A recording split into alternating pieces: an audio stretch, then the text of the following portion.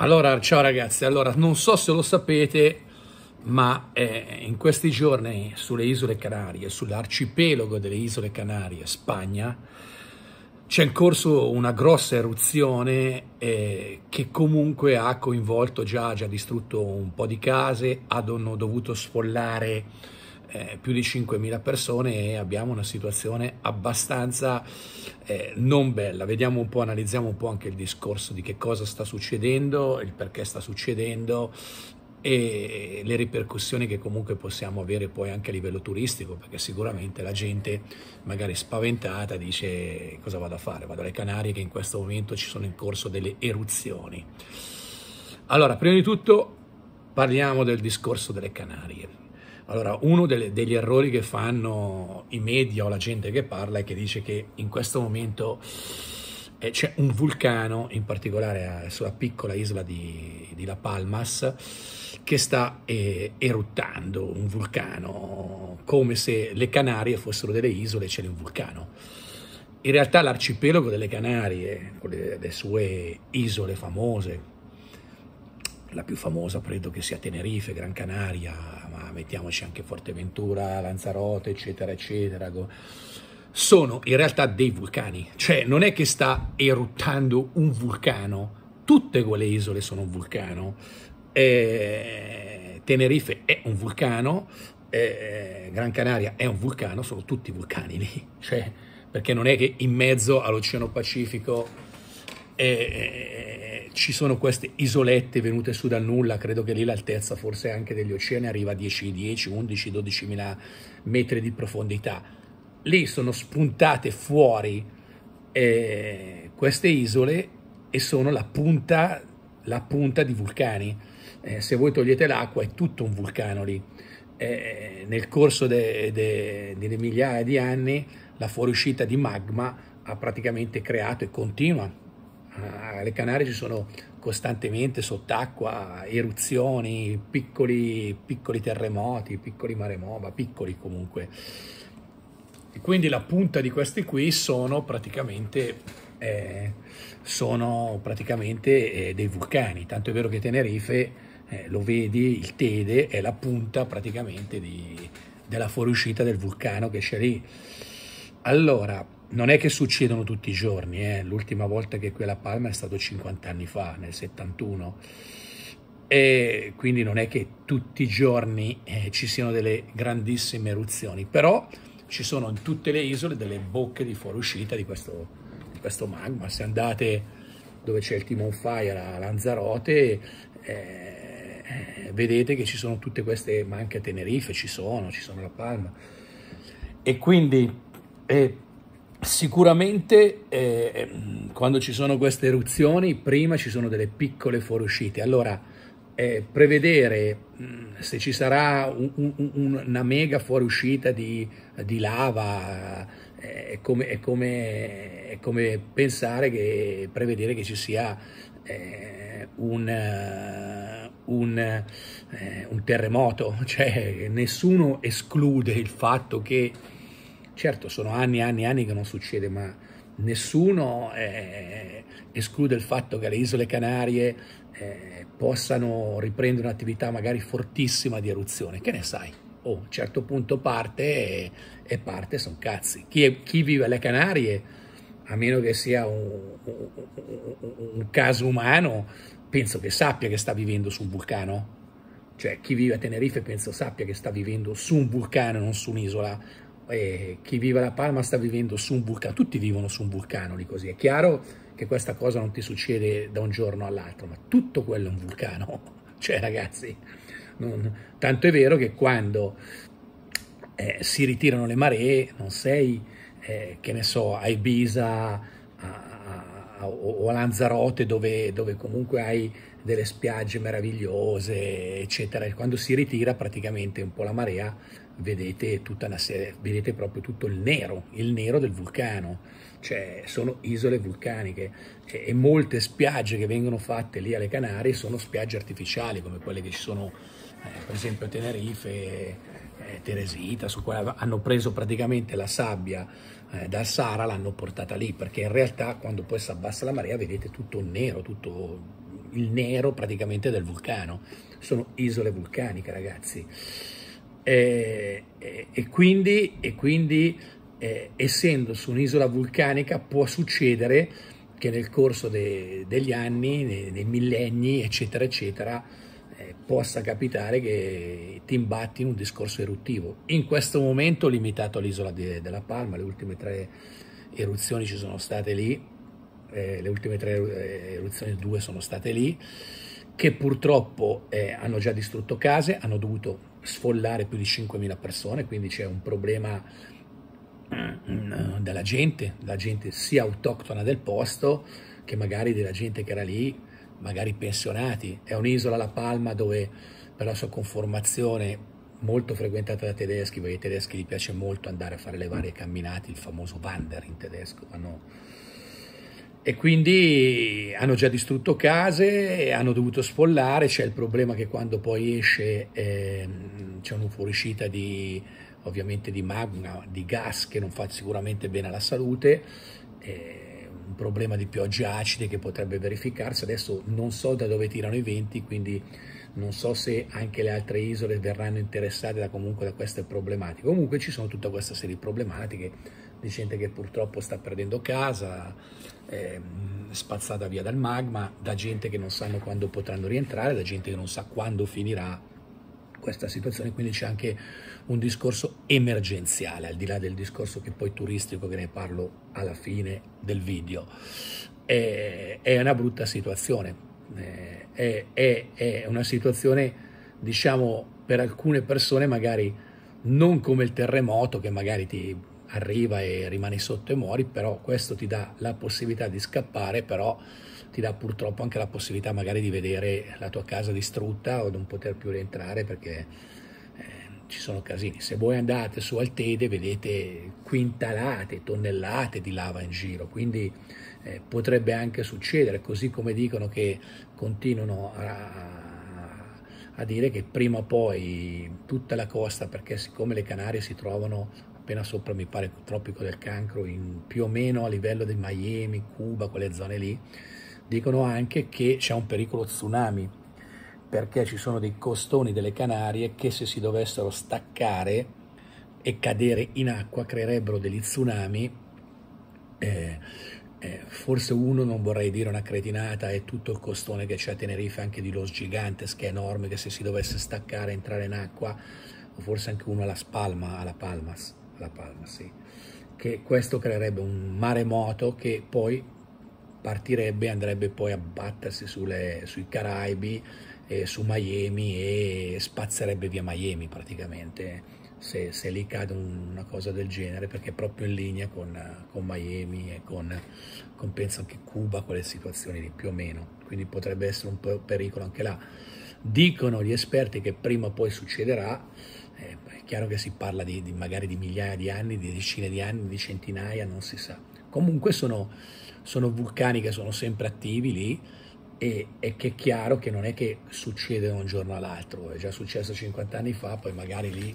la situazione fra magari qualche giorno, qualche settimana, eh, qualche mese poi rientra la Palma se le altre isole vivono diciamo in maniera abbastanza più serena. Diciamo che questa cosa in Italia hanno detto qualcosa, ma la maggior parte diciamo, dei turisti, diciamo, no, de della gente non lo sa, cioè non gliene frega niente in questo momento, la gente ha altro a cui pensare che non un'eruzione alle Canarie. Chi può essere interessato? Può essere interessato chi ovviamente eh, ha intenzione magari di andare a fare una vacanza. Allora, chi vive là ovviamente non è preoccupato, nel senso che comunque è limitato a questa isola, quindi cioè, non è, anzi, è molto, cioè, quando la gente dice ma chi vive, chi vive là non gliene frega un cazzo, in poche parole, a parte essere dispiaciuto ovviamente per le persone eh, che verranno evacuate, ma chi vive a Forteventura, eh, Gran Canaria e Tenerife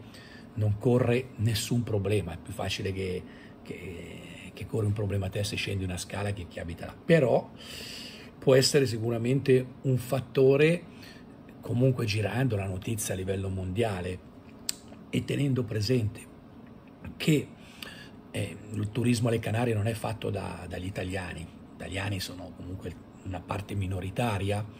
sicuramente a livello turistico sia chi deve andare là è cosciente che c'è questo problema. Ed è cosciente anche magari il tedesco, l'inglese e anche se andare là a fare una settimana in realtà ovviamente non devi andare alla Palmas e non corri nessun pericolo sicuramente in una situazione già di difficoltà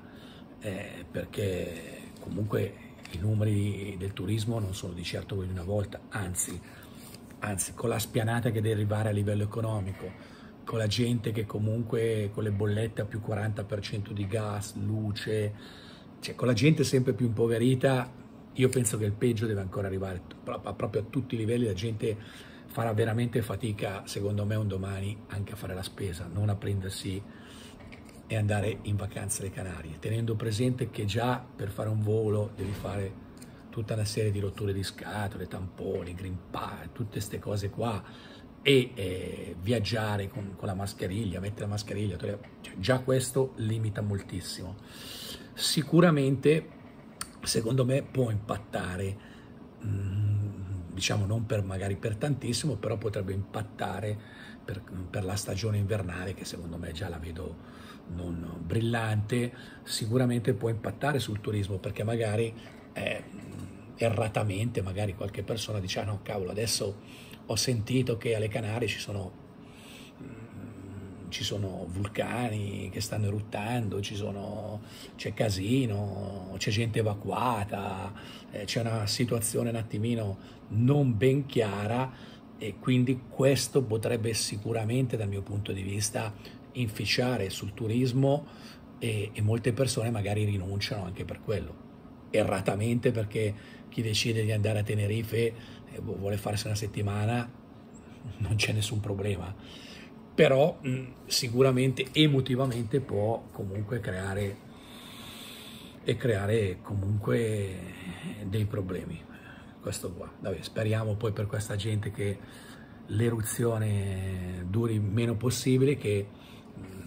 vengano coinvolte meno case possibile, anche se purtroppo bisogna imparare che eh, noi in Italia non lo facciamo perché basta vedere da dove, da dove noi ci sono i vulcani che comunque sono ancora, se, no, se ne eruttano da, da, da, centinaia di anni, ma comunque sono sempre attivi, non bisogna costruire sotto le bocche d'uscita dove, dove, esce il magma. Eh, questo è poco ma sicuro. Mm, io spero che questa situazione rientri abbastanza brevemente perché altrimenti eh, tutta questa popolazione, queste 5.000 persone, e altre case verrebbero comunque distrutte oltre a quelle che sono già state comunque già abbattute dalla lava. E questo qui è quello che, che mi auguro, che, che, la cosa rientri abbastanza velocemente. E mm, in un altro video poi analizzeremo la follia dei prezzi delle case, perché ho notato che eh, c'è ancora gente che vende dei prezzi folli, folli, assurdo, mentre invece ci sono ehm, ci sono de, delle buone luci per quanto riguarda la penisola in posti che dal mio punto di vista sono turisticamente, paesaggisticamente eh, mille volte meglio che Tenerife, le Forteventura, le Canarie in generale, anche se ripeto sono bei posti, eh, sono sempre bei posti, eh? però eh, ci sono molti posti bellissimi eh, in penisola spagnola, dalla Costa Blanca, venendo giù fino a scendere fino, fino a Mursia, andando giù Cartagena, compagnia varia, dove già si hanno dei prezzi ottimi di case che andrò più avanti a farvi vedere. Le Canarie rimangono sempre un bellissimo posto, eh, anche se vabbè, eh, sono isole oceaniche e di certo non sei, a, non sei ad Alicante o non sei a, a Ibiza che il mare lo trovi comunque caldo. Eh, alle Canarie comunque sei sull'oceano il mare è freddo, cioè è chiaro, paesaggisticamente sono posti ottimi, climaticamente sono posti ottimi, sicuramente era ottimo fino a prima di tutto questo casino dove magari con eh, autonomamente, perché io credo che sia folle che uno oggi per andare a farsi una vacanza deve dipendere dagli altri, basta usare minimamente internet, è una cretinata prendersi un volo, è una cretinata andare su Booking a prendersi un hotel o qualcosa. Era un posto che fino a poco tempo fa a parte Natale, ma subito dopo Natale o prima di,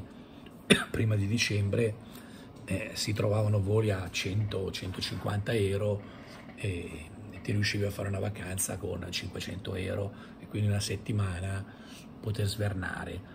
Ehm, oggi c'è il casino, certo lo puoi sempre fare, vai sempre su Booking, sempre roba, l'unica cosa che devi avere un po' di rotture di scatole con mascheriglie, tamponi, compagnia varia. Resta sempre un buon posto per svernare, eh, climaticamente poi va bene, non è sempre così perché è capitato alcune volte che sono andato giù che trovi anche la settimana brutta, quindi non è che c'è sempre bello, però è sempre un posto che era buono per poter svernare. Su vivere avrei molto da dire perché se io penso a, a Tenerife è, è, è, come fare una, una passeggiata in un Tenerife o tutti gli altri posti, è come fare una passeggiata in un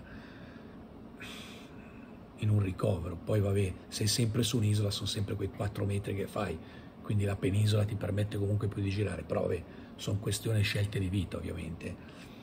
E, ehm, turismo penso e credo che si riprenderà al 100%, io ho detto che ci vorranno 10 anni e per me ci vorranno 10 anni per tornare minimo ai livelli che si facevano nel 2018-2019. Ehm, per tornare a quei numeri lì ci vorranno almeno più di 10 anni eh, anzi penso che nei prossimi anni sarà ancora peggio perché la spianata vera deve ancora arrivare a livello economico con la iperinflazione. La gente avrà difficoltà a riscaldarsi in casa e andare a comprare da mangiare, pensate di andare in vacanza. Eh, sicuramente un po' inficerà comunque questo discorso sul turismo e spero di no, comunque non più di tanto per, per la isole che comunque hanno già abbastanza difficoltà la gente che lavora lì. Sul discorso invece Canarie, eh, prezzi case, lo analizzeremo in un altro video e io trovo follia pura che vendono ancora appartamenti sopra gli 80, 90 mm, o 100 mila euro. Cioè io reputo che per come sono fatti quegli appartamenti, per la qualità di quegli appartamenti, eh, pagare più di eh, 30.000 euro, 35.000 euro per un appartamento lì alle Canarie è pura follia, pura follia, anche perché a questi prezzi qui hai su tutta la Costa Blanca eh, fino a salire anche fino su sotto Tarragona hai migliaia di appartamenti a 40, 50, 35 mila in posti che sono anche meglio da questo punto di vista.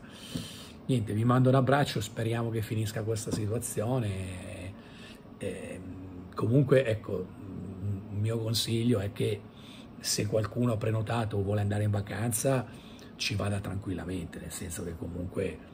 eh, non correte nessun pericolo, cioè, cioè, se avete prenotato, non so, per andare a Tenerife o Gran Canaria, eh, cioè andate tranquillo, no, no, non, non, anzi magari in questo momento,